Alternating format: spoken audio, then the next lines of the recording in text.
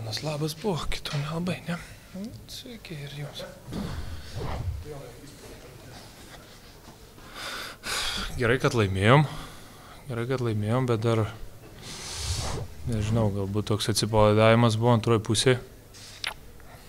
Gerai, kad uh, sugebėjom su to susitvarkyti ir uh, klaidas pataisyti. Pirmoji pusė daug atkovojo kamolių. Antroji pusė susijėmėm, gal šiek tiek gynybą pagerinom ir buvo geresnis vaizdas. Gynybų?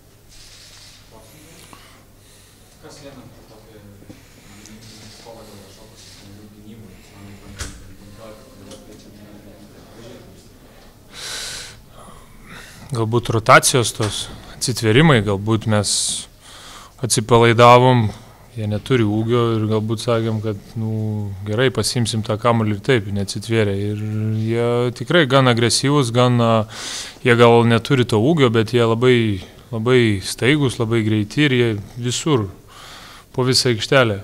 Tai tas galbūt ir pakišo koją.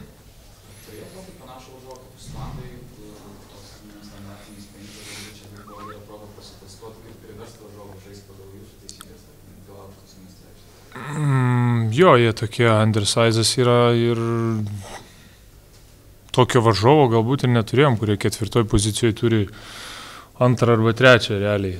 Tai, tai buvo geras testas, aš manau, kiekvienos varžybos iki pat čempionato yra testas ir bandom, bandom vis kažkokias kitokias rotacijas, kažkokias kitokias schemas ir bandom iš to išgauti, ką galim geriausiai. Ką dar labiausiai liko iššlifuoti iki čempionato? To laiko jau šlifavimui nebedaug liko. Galbūt dar tą tokį komandinį žaidimą jau tikrai matėsi ir pasai, ir, ir susipasuojam, ir, ir užbaigiam taip, kaip norim.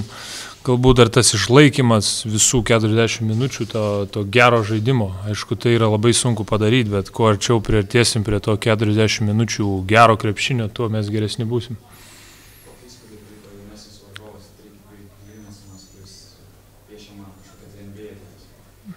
Tikrai geras, jisai jaunas, turi, turi gerą kūną, turi visą potencialą, dabar tik tai ką jis dadės, nes dabar dar tik jaunas perspektyvus, o, o ką dadės, jeigu dadės tikrai nemažai, tikrai bus geras žaidėjas, aš manau, nes jau ir dabar, dabar gali žaisti aukštam gan lygiai.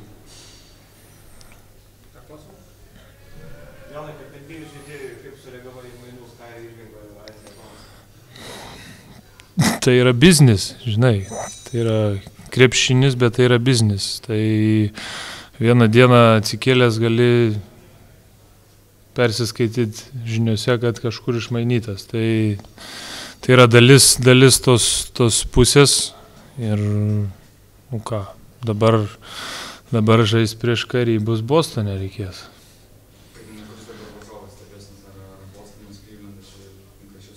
Iš Raptors situacijos, ne, Lietuva.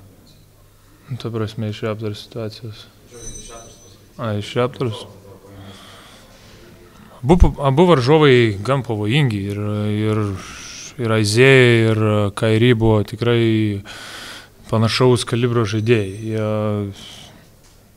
labai stiprus individualiai, labai geri gynyboje ir manau, manau labai kažkokių smarkių didelių pakeitimų nebus.